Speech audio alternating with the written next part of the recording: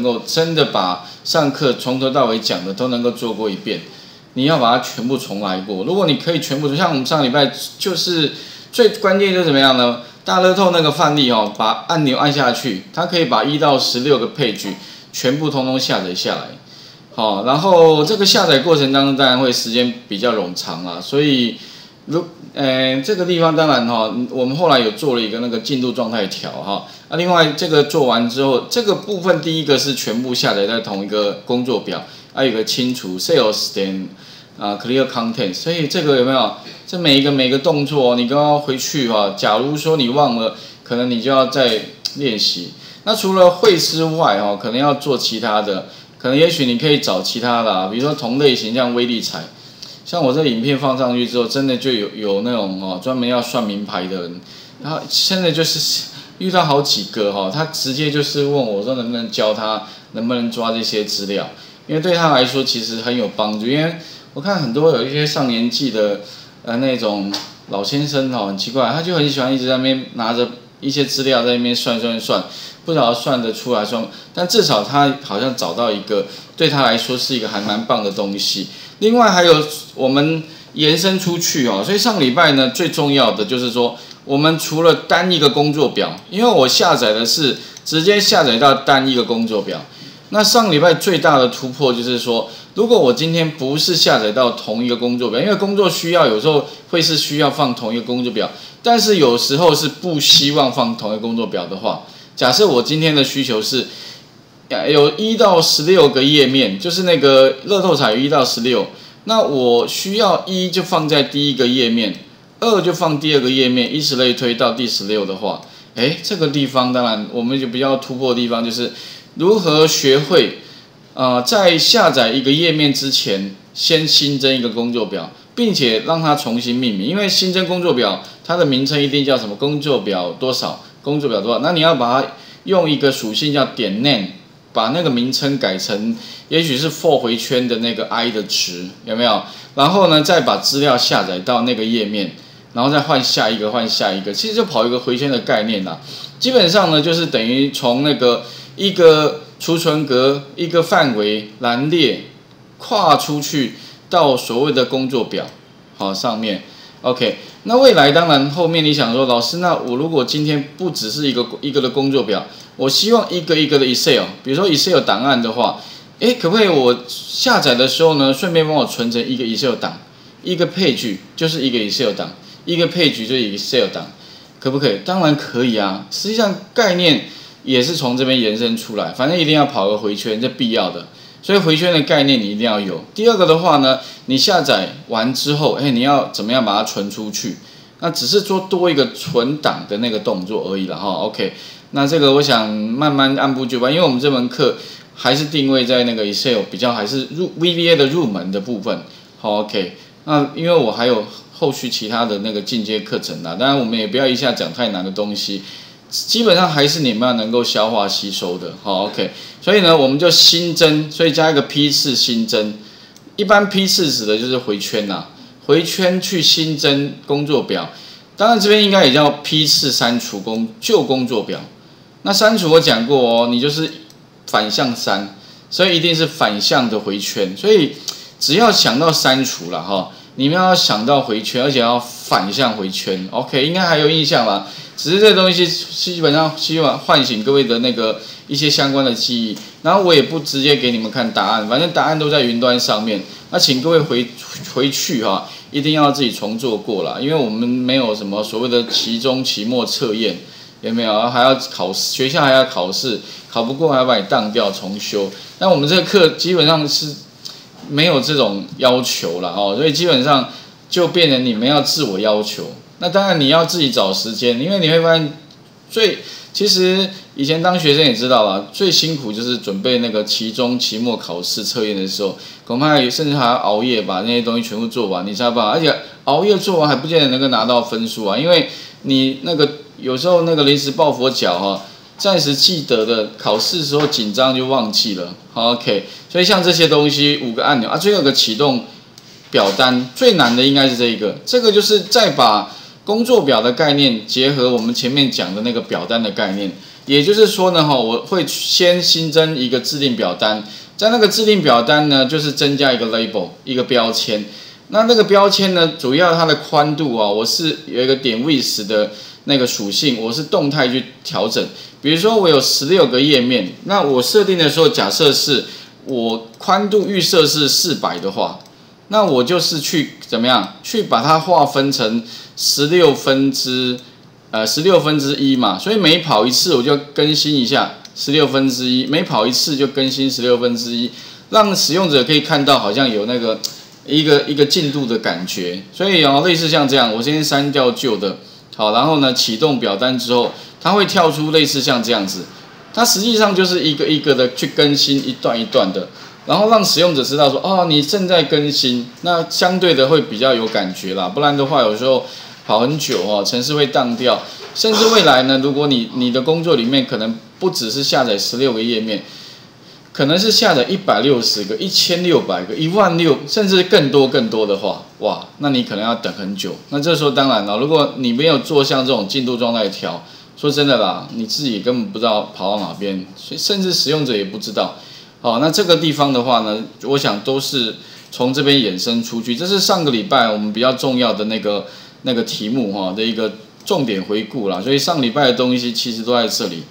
好，然后呢，今天的话，我们要接着来看那个检视与参照部分。好，所以基本上呢，影片连接都在这里。然后回去还是要看哦，因为我们理每次上课都有录下来。好啊，理论上其实我也会透过这个数据去看一下你们哈有没有回去有没有好好的练习了哈。那再来的话，今天接着来看，所以待会请各位呢再开启检视与参照这个练习题。那我们上个礼拜呢，最后是有讲到有一个是类似像这边这个 lookup 的这个工作表。那当然 lookup 函数比较简单啦，我们可能就是呃需求就是如果我今天要找什么找零零五，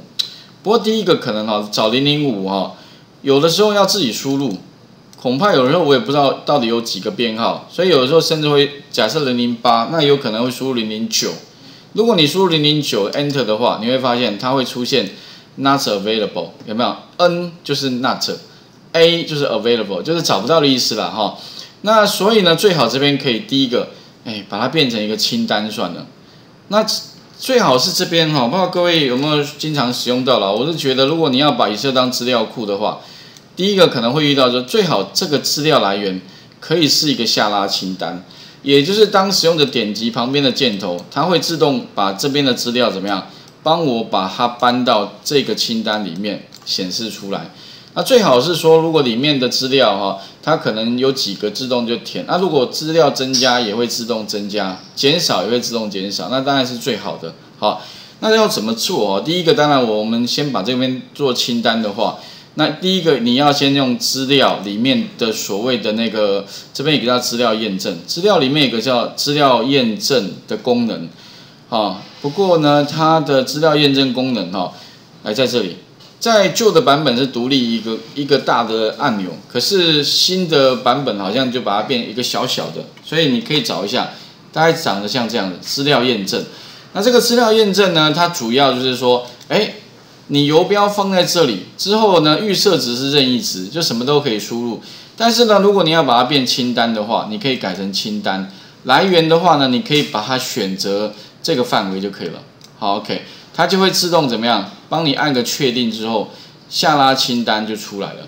好，但是呢，我的习惯是这样啦。如果说今天哈，理论上左边跟右边的资料会放在不一样的地方，所以哈，理论上呢，我如果做这个清单的时候，通常会把这个来源变成一个名称，用名称去存取这个范围，因为将来这两个可能不在同一个工作表。那你跨工作表的话，用选取哈可能会有问题啦，因为还需要加一个什么工作名称，所以理论上我会先一把编号到底下的资料选取，二的话呢还记得吧？公式里面有一个什么了？从选取范围建立，然后呢它的名称就在顶端列，所以顶端列打勾按个确定，然后呢看一下名称管理员里面有没有一个叫编号的东西，如果有的话呢范围也正确。那你就直接将来哈，在这边有没有直接再切到资料里面的这个叫呃资料验证，好，然后把这个范围来源呢按一个 F 三，记得哦，以后呢，如果你增加了一个名称，你要存取它的话，那记得快速键就是 F 三，好，然后呢按个选这个编号按确定就好了。那未来如果你忘了那个 F 三也没关系，你就打一个等于编号也可以，这个可以自己打，只是说呢哈，有时候懒啊，我觉得工作里面最好是什么事都不要做。点点点点点啊就好了就好了，OK，所以尽量啊教各位的方法都尽量可以不用那边想啊，有些说尽量工作里面尽量不要去记啦。我是觉得如果你要硬背硬记一些东西，暂时记得起来，可是有的时候反而过一段时间你又忘记就麻烦了。所以尽量哦，像我的习惯是有没有什么方式，尽量就是在那边，我以后按一个按键它就自动跳出来，会是最好的方案。OK 哦，然后按个确定。这个时候下拉之后的话，你会发现就可以让我去挑选。但是你会发现呢，挑选的时候，我们上个礼拜下面有用 V 罗函数，它会自动去跳不同的人。比如说我要找零零二，哎，你会发现它会自动帮我把张博雅带过来。好，然后如果零零一，哎，帮我把吴博威带过来。但是呢，我们上礼拜好像有一个问题是，如果我希望做完之后向下填满，自动完成。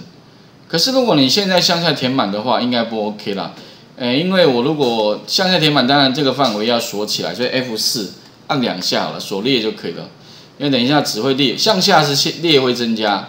但是我现在向下填满的话，你会发现它会变成啊，没有，还要这个也要把它锁起来，但也要锁列就可以了哈。因为我要找的东西在这边，向下填满变成什么，都是吴伯威，所以呢，有一个地方可能改一下就 OK，因为我这边是。找的是第二栏，那如果我向下填满可以变三四五六的话，哎，那这个问题就解决。可是呢，如果你今天向下填满，它有没有什么方式可以让那个数字自动加一的？哦，那这里你可能要，如果以后只要工作里面哦，只要向下填满需要自动加一的话，那你就可能要想到一个函数，叫 row，r o w。有没有这个地方的话，其实哦，提示一下哦，这边可以用 ROW 函数 r o w，r o w 是什么呢？哎，就是列嘛，意思就是说，我现在参照到的列，当我向下填满的时候，你会发现它的列会自动加一，那我就可以把这个讯息摆在哪里呢？摆在这里，置换一下，OK，那把它变成二就可以了，二三四哦，应该可以理解吧？哈，所以我今天如果希望这你可以在旁边练习好了，比如说插入函数哈，然后呢可以用检视与参照里面的那个 row r o w 这个函数啊，没有加 s 哦，row 哈，按确定之后，你当然直接按确定它会是四，为什么？因为它只会参照列，它不会搞蓝哦，所以你如果向下填满的话，它会变成四五六七，但如果我要二三四五，那其实很简单嘛，可以怎么样？减掉二不就好了？row 减二打勾。向下填满，啊，这边的话呢，其实不用锁，二三四五，那也就是如果今天哈要能够 v 的函数向下填满，自动全部抓到其他栏的话，就把这边怎么样改成什么 row r o w，不这个可以可以自己打了哈，当然有时候这个可能要注意一下，小刮胡指的是现在所在的列是哪一列，哎，它就抓到四，但是我要二减掉。二就可以了，那你把它打个勾，OK，向下填满一下。哎，这个时候呢，并且把它置中好了，这样看比较清楚。你会发现哦，哎，这个时候呢，哎嘛吴博威的所有资料呢？也一下子全部呢，横向的就变成纵向了，OK，横向的就变成纵向的。好，OK，这个应该可以理解了。好，主要哦，所以你们待会可以怎么样？旁边练习。用弱函数，再把这个弱函数呢放到哪里呢？放到我们公式里面的要抓哪一栏？好，抓哪一栏？啊是，不过特别重要是抓哪一栏，重点是栏哦。这个 row 只是说我要变出哪一栏的讯息，所以有的同学，老师你又讲栏又讲列，到底是栏还是列？其实这里其实是要抓哪一栏，但是我们是借用 row 的那个产生的来。哦，显示蓝的那个讯息哦，OK，关键应该是蓝的。好，OK，试一下啊，请各位大家重点一，这个地方先帮我把它做成所谓的那个资料里面的资料验证，变成什么所谓的下拉清单，哈。那是要验证之前，可能要把编号这边呢，先用公式里面的从选举范围建立顶端列。那二的话呢，就是把上个礼拜 v 函数哈这个地方改成向下填满，自动抓到其他的栏啊其他栏的资料哈，可以请各位试一下哈。所以这边的话呢，我们主要是下拉清单。第二个是用 view 函数配合 row 函数，自动去抓取其他栏的资料好，并且显示。在我们查询的那个右边的画面上面，哈，试一下。